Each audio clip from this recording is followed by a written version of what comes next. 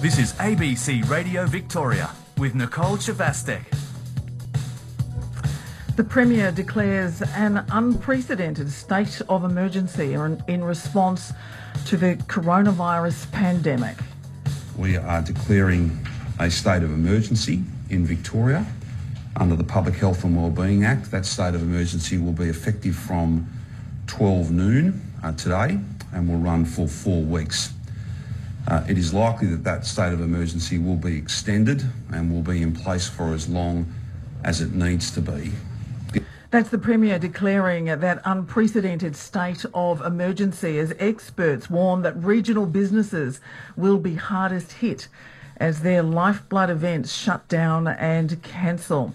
The NBN test will the nation building infrastructure be able to step up as tens of thousands of Australians are instructed to work from home? Plus, how are you navigating this emergency? Meg um, is a writer in Daylesford. Meg, good afternoon.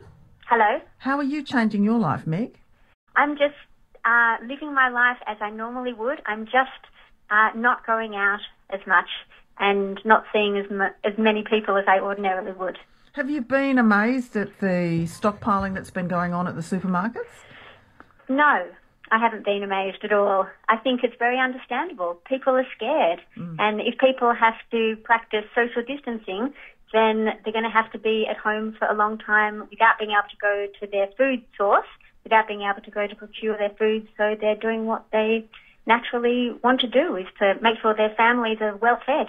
Are you able to operate without, you know, schlepping down to the supermarket all the time? Is that something that your family has trained itself to do or taught itself So- to do?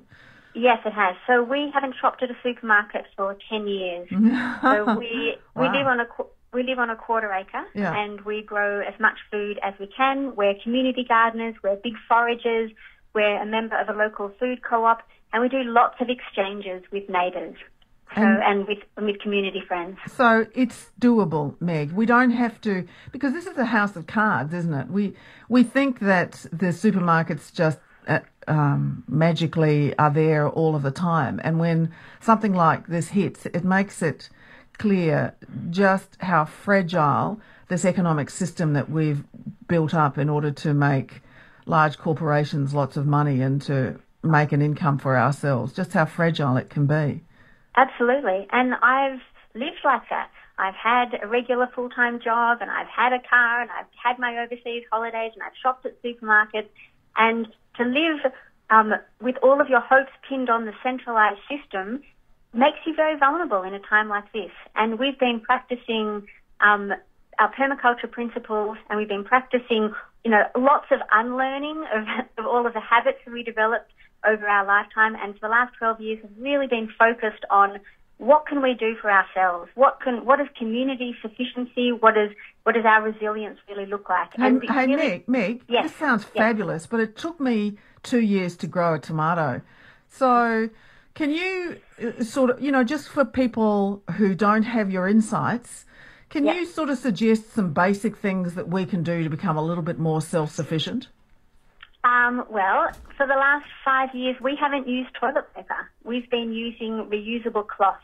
And I think at first when we started talking to people about that, they were quite grossed out by the whole idea. But now, since we posted it on Facebook, just a reminder that there are alternatives to using toilet paper, we've had so many people contact us to say, wow, so how big do you make, how big do you cut them? What do you cut them out of? And what do you wash them with? And things like that.